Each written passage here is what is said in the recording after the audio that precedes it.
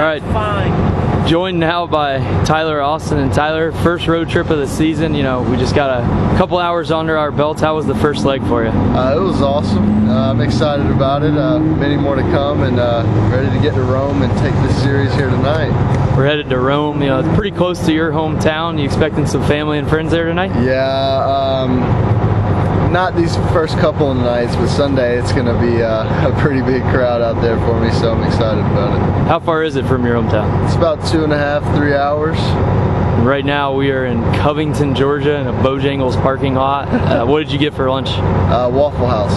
Waffle House, nice. Yes, sir. Uh, you know, what do you what do you think of the first homestand for the team this season? Uh, I'm really excited. I was really excited about it. It was it was good for us. Uh, kind of struggled swinging the bat a little bit, but finally came around last night, which was good. We really needed that.